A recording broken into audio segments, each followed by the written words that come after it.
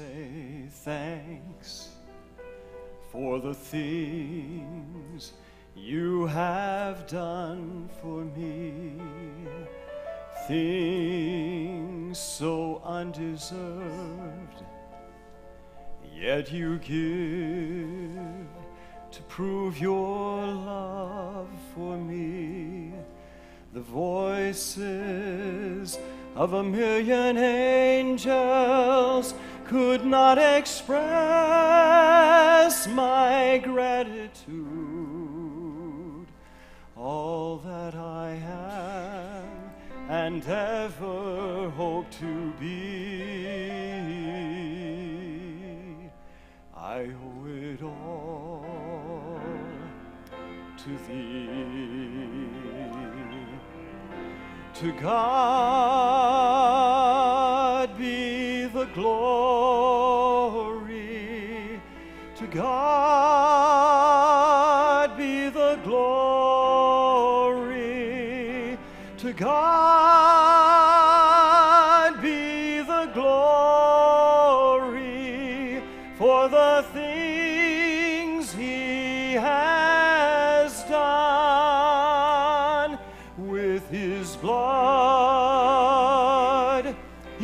saved me with His power.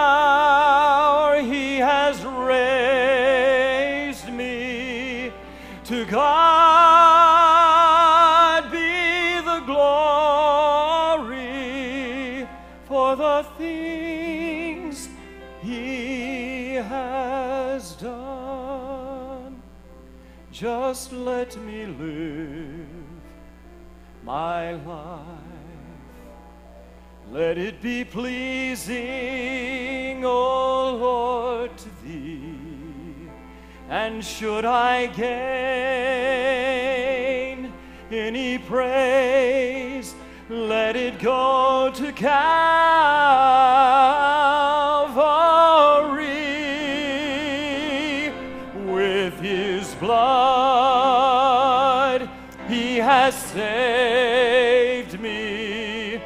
With His power, He has raised me. To God be the glory for the things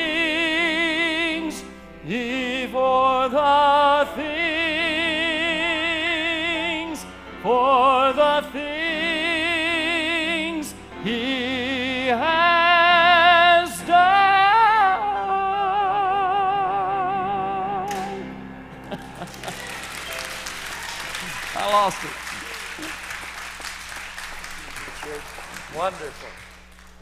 Wow.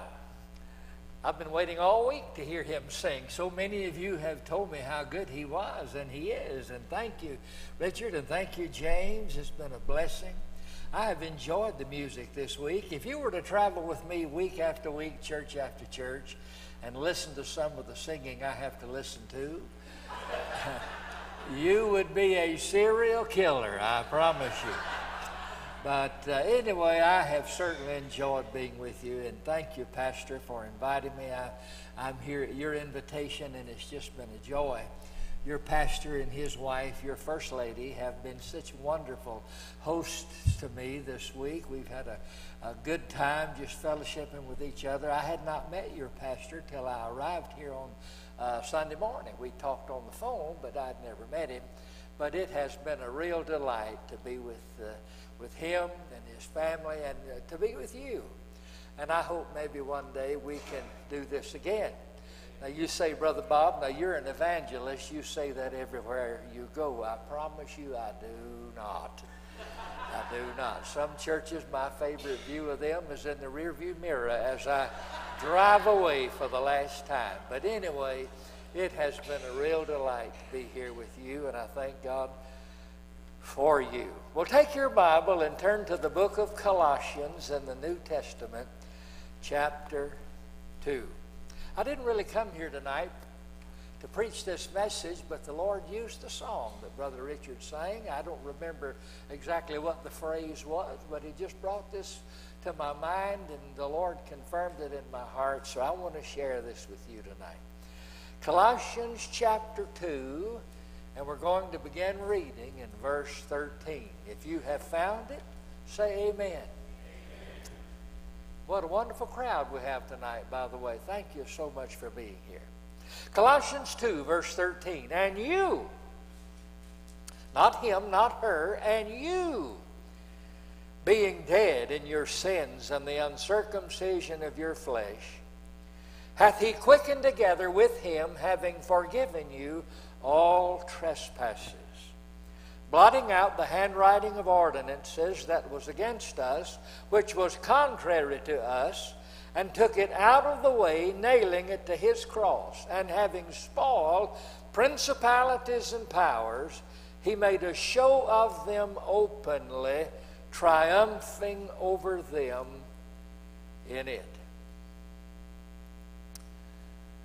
Back in the 60s and the early 70s, at Christmas time and at Easter time, most church choirs presented a cantata. Now, a lot of churches today, especially the bigger churches, they have great pageants. And, and I'm certainly not opposed to pageants. I love them. They're, they're wonderful presentations of the story of the Lord Jesus. But, but sometimes they bring in uh, uh, donkeys and sheep and camels, and the whole auditorium becomes sort of a menagerie.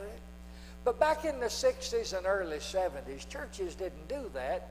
At Easter time and at Christmas time, they simply had a cantata that the adult choir would sing, usually just one night, maybe the, the Sunday night before Christmas or the Sunday night before Easter. Most of those cantatas back in the 60s and 70s were written by a man named John W. Peterson. John W. Peterson was a great songwriter. And you sing from time to time hymns that he wrote. For example, he wrote that song, Heaven Came Down and Glory Filled My Soul. That was a John W. Peterson song. But of all the songs that John W. Peterson ever wrote, and there were hundreds and hundreds of them, my favorite song of John W. Peterson, it was never in a cantata, it was never on the charts, and I haven't heard anybody sing it, I guess, in 30 years. But it started out with words like this Why should I sing of lesser things and things that pass away when I've a friend like Jesus now to sing about each day? Isn't that good? The title of that little song was simply My Song. That's what Peterson called it, My Song. Why should I sing of lesser things and things that pass away when I have a friend like Jesus now to sing about each day? Why should we sing of lesser things? Why should I preach of lesser things? Why should we talk of lesser things when we have a friend like Jesus now to sing about and preach about and talk about each day? The Christian life is a love affair with Jesus Christ. Christianity is not a religion. Buddhism is a religion. Hinduism is a religion. Islam is a religion. Taoism is a religion. But Christianity is a love relationship with God through Jesus Christ. That's what Christianity is. It's not me trying to be like Jesus, it's Jesus living his life in and through me. That's a relationship. That's what Christianity is all about. In these three verses that I've read for you, we find a testimony of the Apostle Paul. You say, now, Brother Bob, it doesn't look like a testimony, and you're right, it doesn't. Because usually in the epistles that Paul wrote, when he gives a testimony, and he gives several of them, it's pretty obvious that's what he's doing. But this is one of those subtle testimonies from the Apostle Paul, and basically what he's doing is simply this I want to tell you why I love the Lord Jesus. And he gives us three reasons in these three verses. And so I want us to look at these, and then we'll have our prayer and our final invitation for this revival meeting. First of all, Paul says, I love the Lord Jesus because he met my greatest need. I love the Lord Jesus because he met my greatest need. Now look there in verse 13. And you being dead. Now he's writing to Christians in the city of Colossae and he's reminding them of what they used to be. You know, every once in a while I'll encounter someone and they'll say, Well, you know, I've been a Christian all my life. No, you haven't. Nobody's been a Christian all their life. Because there was a time when you were dead, spiritually dead. And so Paul says, and you having been dead, he's referring to what they used to be. Now, if you're not a Christian, you're still dead. But Paul gives two reasons why we used to be spiritually dead. He says, first of all, we were dead in our trespasses and sins. Sin brings death. Sin brings death. Eh, there, those two things are always together in the Bible. Everywhere sin goes, death marches right beside it. They've never had a dispute. They've never had a falling out. They've never had a fuss. They've never had a disagreement. They've never had a divorce. Sin and death always go together hand in hand. And so Paul says we were dead because of our sin. Sin brings death. But then he gives a second reason. He says, Not only were you dead in your sins, he says you were dead because of the uncircumcision of your flesh. Now, what does that mean? In the day of the New Testament, many Christians were converted Jews. And in the day of the New Testament, many Christians were converted Gentiles. Now, some of the churches in the New Testament were pretty equally balanced. They had Jewish Christians and Gentile Christians. There were some churches, like in Jerusalem, most of the Christians were Jewish Christians.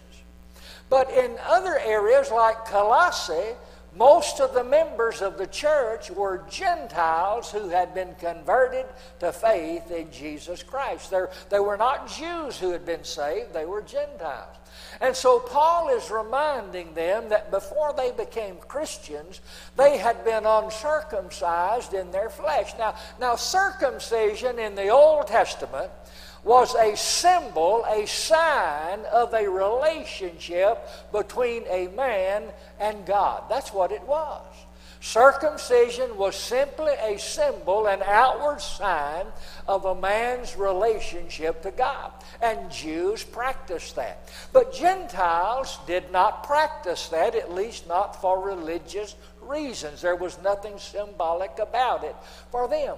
And so, what Paul is reminding these Colossian Christians of is simply this Not only did you used to be spiritually dead because of your personal sin, but you were also dead because of the uncircumcision of your flesh. You were outside of any covenant relationship God ever made with man. God made a covenant with Abraham, God made a covenant with Moses, God made a covenant with David, but those were all covenants to the Jewish people. And those of us who were not Jews, we were outside of those covenants. We didn't have any claim to them. We didn't have any right to them. We did not, they were not for us. We were outsiders. We were aliens to the covenants and the promises of God. And so Paul says to these, these Gentile Christians in the church at Colossae, there was a time when you were dead spiritually, you were dead. Now, maybe you could see the light and hear the noise and, and handle things with your hands and walk with your feet and legs, but spiritually, you were dead to the things of God because you were not part of any covenant that He had ever made with man and because of your own personal, individual sin. Now, I want to ask you this What is the greatest need of a dead person? A dead person does not need a course in music appreciation. A dead person does not need a course on the art masters of history. A dead person needs life. And the only giver of life is Jesus Christ himself. A spiritually dead person cannot find life anywhere other than Jesus Christ. Jesus is the life. He gives life. He sustains life. He's the sovereign master of life. Jesus is the life. And that's what Paul says. He says there in verse 13, and you being dead in your sins and the uncircumcision of your flesh, hath he, hath Jesus quickened. And that word quickened means made alive. Jesus made you alive together with him.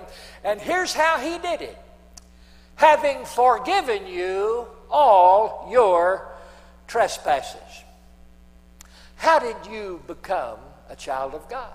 The Bible teaches that when you got saved, you passed from death into life. Amen. You were spiritually dead, but when you got saved, you became spiritually alive.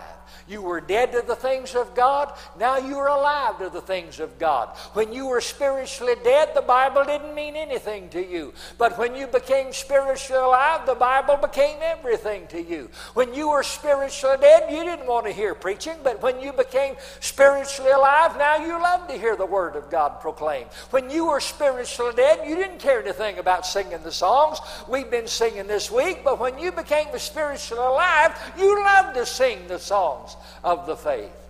Something happened to you. Now, how did that happen? Well, God did not wave a magic wand over your head. God did not sprinkle pixie dust on your head.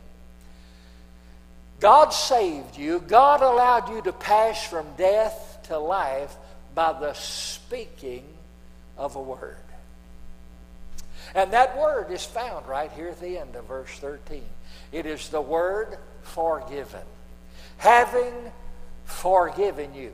When the Holy Spirit of God convicted you of your sin, and you realized that you were lost and on your way to hell, and you came in repentance of sin, and you put your faith in Jesus Christ as the Savior and the Lord of your life, when you trusted Him, He spoke forgiveness into your life.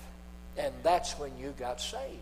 You didn't get saved when you got baptized. You didn't get saved when you took the Lord's Supper. You didn't get saved when you walked down the aisle and filled out a card. You got saved when Jesus spoke forgiveness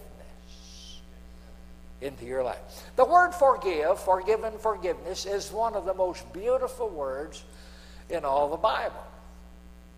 It literally means to send away. It means to take something that is here and send it somewhere else. There are three pictures of that in the Bible.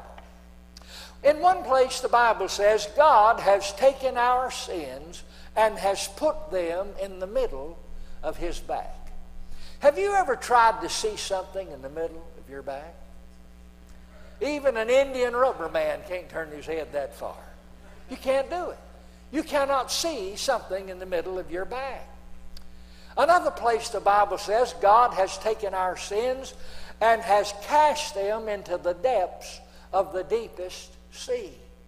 Now, I don't know how deep the deepest sea is. I'm sure oceanographers know how deep the deepest sea is, and I, sea is, and I'm sure God knows how deep it is, but it really doesn't matter. It's just a picture. But the Bible says He's taken our sins and has cast them into the depths of the deepest sea. The picture there is He's put them in a place He no longer sees them. A third place the Bible says God has taken our sins and has removed them from us as far as the east is from the west. Now I want to ask you, how far is the east from the west? There's no way to measure that. It is an immeasurable distance. Now, if he had said as far as the north from the south, you could measure that. You go out of this building with a compass and you start heading north. It'll take you a while to get there, but you just keep heading north and eventually you'll come to the North Pole. And once you pass the North Pole, you're headed south and you just keep going and you keep following that compass and you'll eventually come to the South Pole. And when you pass it, you're heading north. You can measure the distance from north to south, but not east to west. Tomorrow morning, I'll go over to uh, Greenville uh, Airport and I'll get on an airplane. You can go any day of the week and get on an airplane and start heading east, and you can circle planet Earth 25 times, and all you're doing is heading east. Or you can get on a plane and head west, and you can circle the planet 25 times, and all you're doing is heading west. There's no way to measure east from west. And so God said, I have removed your sins as far as the east is from the west. So, which is it, Brother Bob? Has God taken my sins and put them in the middle of his back? Or has God taken my sins and put them in the depths of the deepest sea? Or has God taken my sins and removed them as far as the east is from the west? Which is it? Yes, pick one, doesn't make any difference. They're all just pictures that when Jesus forgave you, He sent your sin away. A little chorus we used to sing when I was growing up said, You ask me why I'm happy. I will tell you why. Because my sins are gone. Our sins are gone. We were dead, and Jesus made us alive by forgiving us all our sins. Paul says, You want to know why I love Jesus? I love him because he met my greatest need. Secondly, he says, I love him because he paid my greatest debt. Look there in verse 14 he says, blotting out the handwriting of ordinances that was against us, which was contrary to us, and took it out of the way, nailing it to his cross. Blotting out the handwriting of ordinances. Now, what does that mean? I'm not a betting man, but if I were, I would be willing to bet all I have. There's not a person in this room tonight that not today nor any time this week have you used that little expression, blotting out the handwriting of ordinances. There's not a person here that's used that in a sentence this week. We don't talk like that anymore. But what does it mean, the blotting out of the handwriting of ordinances? If a man in the day of the New Testament, if a man had been accused of a crime, he would be arrested, and all of the crimes that he had been accused of committing would be written on a piece of parchment. His name would be at the top, and then they would list one, two, three, four, five, however many there were, all of the crimes he had been accused of committing. That piece of parchment with his name on it and those crimes underneath his name that was referred to as a handwriting of ordinance. And when the day of his court case came, he would go before the judge. The judge would come into the courtroom, he would sit down on the judgment seat, and the bailiff would give to the judge this handwriting of ordinance that had this man's name and the crimes he was accused of committing written down. And the judge would look at it and he would say, Sir, is this your name? Yes, Your Honor. That's my name. Are these the crimes you were accused of committing and arrested for? Yes, Your Honor. That's what they say that I've done. Now, if that man were found guilty of those crimes, the judge would then sentence him to a term in prison. The length of the prison sentence would be determined by how serious the crimes were. He might be sentenced to a year, he might be sentenced to five years, he might be sentenced to 10 years or 20. When the judge sentenced that man, he would go to the bottom of that parchment and he would write his name, I, Judge so and so, sentence this man to X number of years in prison, and he would sign it and dated. Then he would roll that scroll, roll that parchment up, and he would give it to the jailer, and the jailer would take that man who had been convicted of those crimes down into the prison block. And he would put him in prison and lock the door, and then he would take that handwriting of ordinance, that piece of parchment, and he would tack it up above the door of the prison cell. Now, if you go into prisons today or if you go into jails today, maybe you have a jail ministry here and, and you go and share the gospel to those in jail, or maybe you have a loved one in jail and you go see them from time to time. But when you go into a jail today or a prison, you might see a person behind bars, but you don't know who they are. You don't know what their name is, and you don't know what crime they have committed. You don't know if they're murderers or thieves or rapists or child molesters or thugs or what. You don't have any idea because there's nothing there to tell. But it wasn't like that in the day of the New Testament. In the day of the New Testament, you didn't have to ask, Who is that and what did he do? All you had to do was look up above the door. There's his name, there's the crimes he was he had been convicted of committing, and there was the sentence and the signature of the judge who said that was the handwriting of ordinances. Finally, the man would serve his full debt to society. Maybe a year, maybe five, maybe ten. But the day would come, this was his last day in prison. And so the jailer would come, he would unlock the prison door, and he would reach up above that door and take down that handwriting of ordinances, and they would go back before the judge. Now, it might be that same judge, or that judge may have died or retired. It might be another judge. But the man would be brought before the judge, and, and the jailer would give that handwriting of ordinances to that judge. And the judge would unroll it and he would say, Sir, is this your name? Yes, Your Honor. And are these the crimes you were convicted of? Yes, Your Honor. And this was the sentence that you were given by Judge so and so? Yes, Your Honor. Well, have you served the full sentence? And the man would say, Your Honor, I have served every filthy, lousy, stinking day. I've been in that prison wallowing around in my own body filth with roaches and maggot worms and rats and, uh, and all the filth. I have been in that, I have served every day of that sentence. I have paid my debt in full. And the judge would ask the jailers, this man telling the truth? Yes, Your Honor. He has paid his debt in full. And the judge would take that handwriting of ordinances and he would turn it sideways, and from top to bottom, in great big block letters, he would write one word. It was the word tetelestai. It means the debt has been fully paid.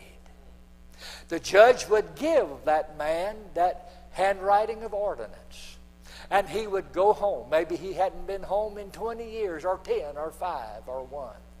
And when he got home, he would take that handwriting of ordinance and he would tack it on the front door of his house. Maybe the next day he would be out in the yard doing yard work, and somebody came by and said, Man, I thought you were in prison. What'd you do? Did you break out? Did you escape? And all he had to do would be to point to that handwriting of ordinances on the door of his house. Now, you might not be able from a great distance, you might not be able to see his name, you might not be able to see the crimes that he'd been convicted of, but even from a long way off, you could see that one great big block word from bottom to top to tetelestai, the debt is fully paid. When Jesus was hanging upon the cross, he spoke seven times. I'm sure your pastor has, through the years, preached on the seven last words of Christ. One of the times that Jesus spoke as he was hanging on the cross, he said that word, tetelestai. It comes into our Bibles translated like this It is finished. It is finished. The debt has been fully paid. Beloved, I want to tell you, Jesus Christ paid our greatest debt. The book of Hebrews says it is not possible that the blood of bulls and goats should take away our sin. But this man, this man Jesus, by his one offering on the cross, paid our sin debt in full. Paul said, You want to know why I love Jesus? I love him because he met my greatest need and he paid my greatest debt. And then thirdly, he said, I love Jesus because he defeated my greatest enemy. Look there with me, if you will, in verse 15. And having spoiled principalities and powers, he made a show of them openly, triumphing over them in it. He spoiled principalities and powers. Now, what are principalities and powers? In Ephesians 6, Paul said, We don't wrestle with flesh and blood, but with principalities and powers and rulers of darkness and spiritual wickedness in high places. He's talking about ranks or orders of demonic spirits, and over them the devil rules that kingdom of darkness. And so he's talking about demons and the devil. And the Bible says Jesus spoiled them. Now that's interesting. Now, you understand that words change in their meaning. Now, I know what it means to spoil somebody today. I am a grandfather of seven grandchildren, and I tell you, I love them. This past weekend, I was in Las Vegas, Nevada, at the wedding of my oldest granddaughter, and I flew from there to here this past Saturday. I love my grand. One lady said, "Have I shown you the pictures of my grandchildren?" I said, "No, ma'am," and I sure do appreciate it. I have four grandchildren in Las Vegas. I call them Skillet, Scooter, Skeeter, and Scamper. I have three grandchildren in Alabama. I call them Bear, Biscuit, and Bubbles. I thank God for my grandchildren. I love them. And it is the God given right and responsibility of a grandfather to spoil his grandchildren. Now, if you're a young adult with young children, I want you to listen to this right now. Don't ever forget it if it is five minutes before supper time. I mean, if it's five minutes before supper time and Papa or Granddaddy or Big Daddy comes by the house and wants to carry his grandchildren to the candy store or the ice cream store five minutes before supper time, it is absolutely all right. You just don't say a word and say, Go ahead with your grandfather. They won't remember your green bean casserole. but they'll remember Big Daddy carrying them to the ice cream store. And those of us who are grandparents, we have to make memories and we have to make them fast because when you get to be a grandparent, you don't have a lot of time left to do it. So that's what the word spoil means today. I spoil my grandchildren. But that's not what the word meant in the day of the Bible. The word spoiled means it means to uh, to defeat, to dishonor, to disgrace. But literally, it means to defang. That's what it means. Defang. It is a picture of a wild, ferocious animal, and somebody has knocked his teeth out and all he can do is gum you.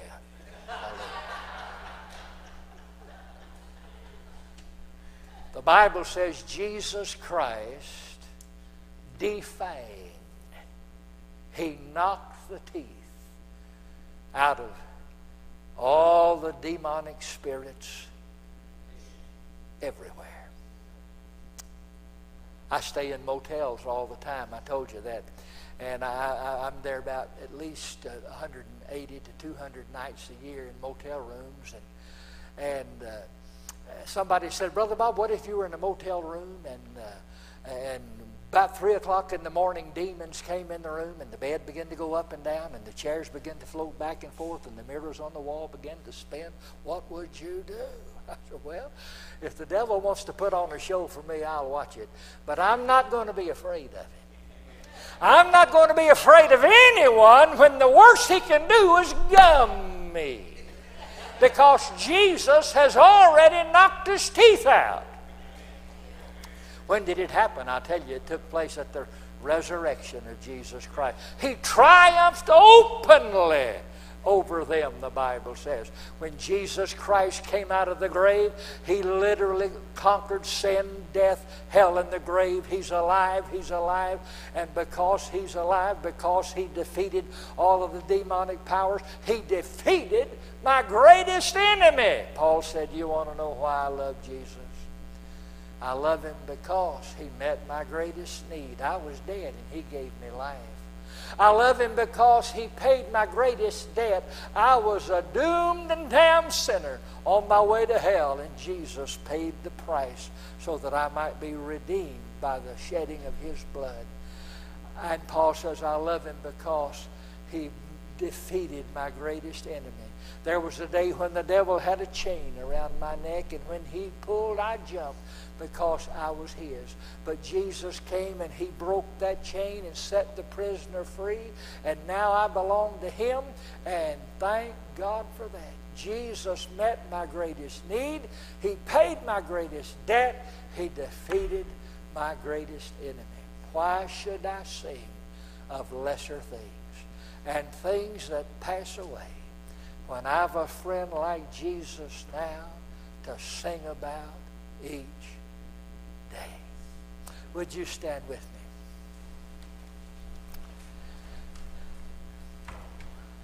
Lord, tonight we've just come to, to brag about Jesus.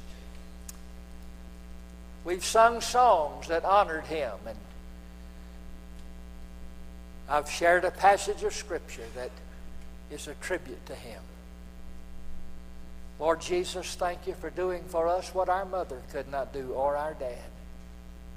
Thank you for doing for us what government could not do. Thank you, Lord Jesus, for meeting our greatest need and paying our greatest debt and defeating our greatest enemy.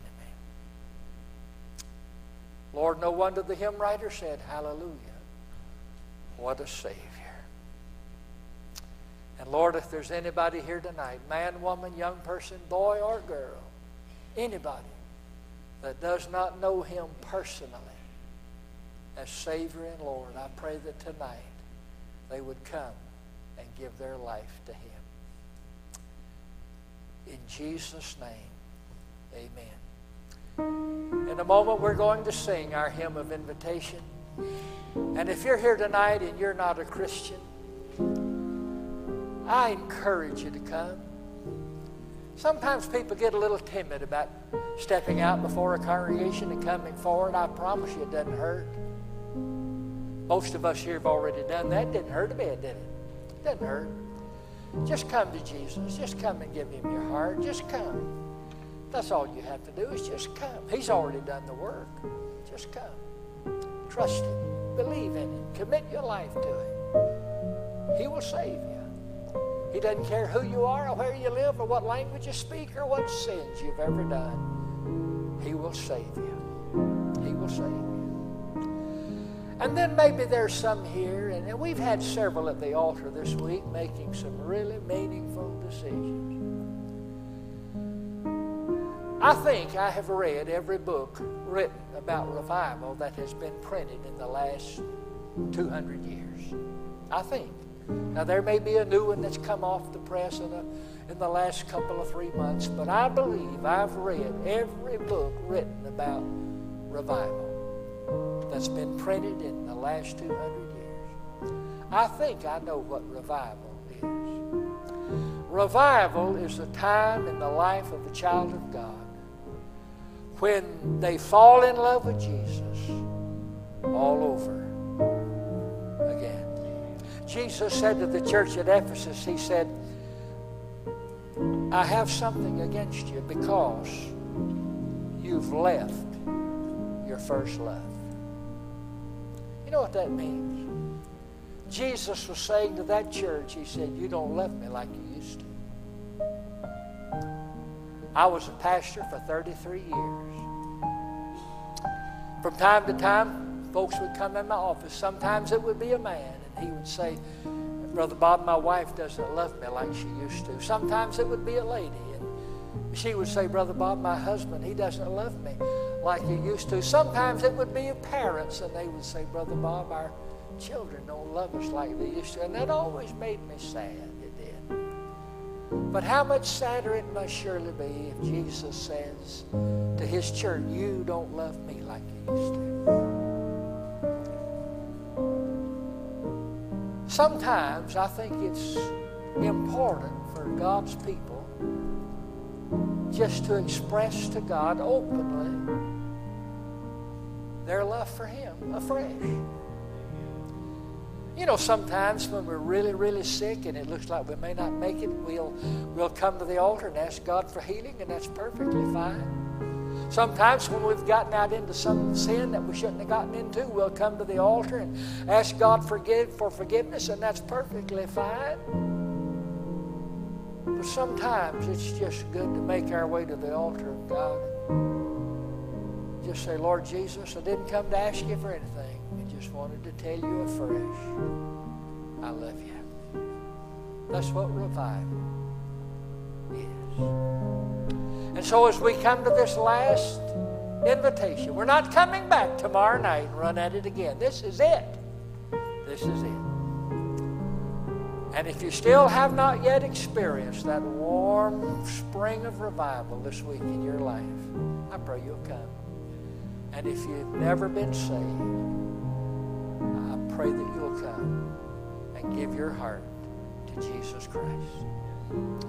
Brother Richard, come and lead us as we sing. And as we sing this old familiar hymn, I want you just to, you don't need a book or anything. You know it by heart. If you don't know it, just hum. But, but I want to encourage you to come as God has spoken to your heart as we sing. You come on right now.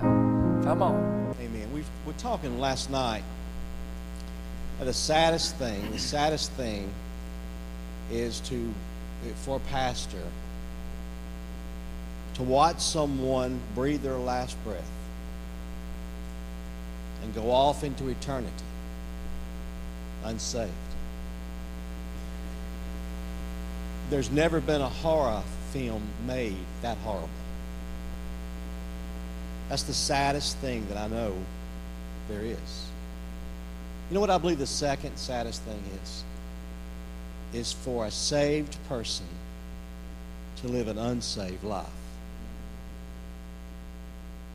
That's sad. And praise God for this, this, this revival. And that's exactly what it was a revival message. Reminding us, sometimes we forget whose we are. And we're living like prisoners or slaves when we've been set free. I like Bob George. He, write, he wrote a book a long time ago, uh, Classic Christianity. And he writes about how, how lost people are, are, are like worms, are like caterpillars crawling around, and saved people are like butterflies. And they don't have to crawl around like worms, but they do sometimes. They can fly. And that's a sad thing. If you're a follower of Jesus Christ and you're not living for the Lord Jesus, you're a miserable person. And you, the good news is you don't have to be that way.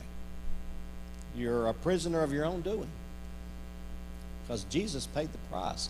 Wow, what a beautiful expression of it we saw tonight, heard tonight, Brother Bob.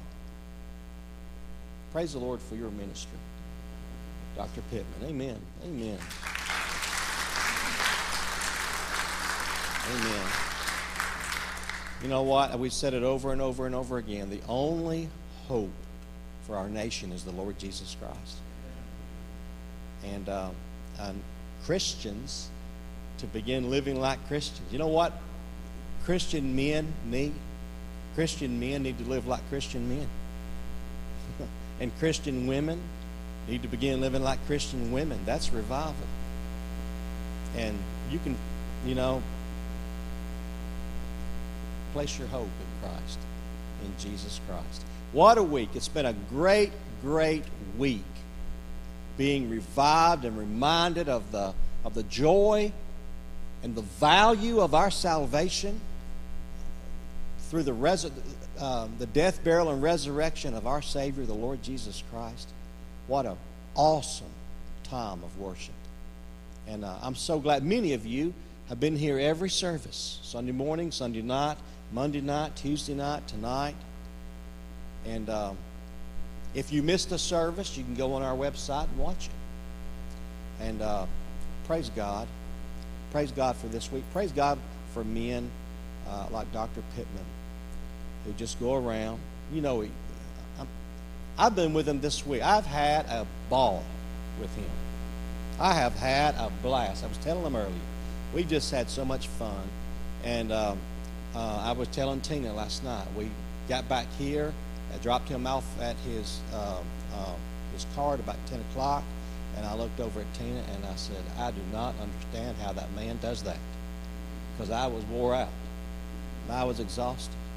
And uh, week after week, I pray for pray for Dr. Pitman and and others who travel and share the good news uh, and, and, and, and help churches and help Christians to remember whose they are and who they are. We're free. We need to live like it. Amen. Amen. Thank you for coming. Thank you so much for your attendance, uh, your faithful attention. Um, thank you for being you. If you're a guest, uh, Northgate Baptist Church is just, uh, and I'm not saying this because I'm the pastor, I'm, I'm just telling you the truth. It is an awesome, awesome church. It is. It really is. Those are all new members that said that. I know they understand. Uh, and here's why. Here's why. And I'll just tell you quickly. Then, uh, then uh, I'll um, I will um, we'll close is because Northgate Baptist Church is real. That's it. In one word, real. That's the word. Well, Jesus, that's right. His name is Jesus. All right. Richard, will you close us with a word of prayer? Father, we thank you for how you have taken us through your word this week and taught us so much. Father, most of all, we thank you for the reminder tonight that we're free, that you've set us free, and that this life is about you living through us. It's not about us. Father, we just praise you for that. Father, we pray that this revival will not end but it's just begun. And that you'll work in the hearts and lives of each of us. And that we will go from this place continue to be the church in a mightier way because we allow you to live in and through us. In Jesus' name I pray. Amen.